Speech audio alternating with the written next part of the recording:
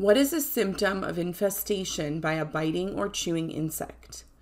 A. Stunted or distorted growth. B. Wilting. C. High yield. Or D. Tall growth. A. Stunted or distorted growth.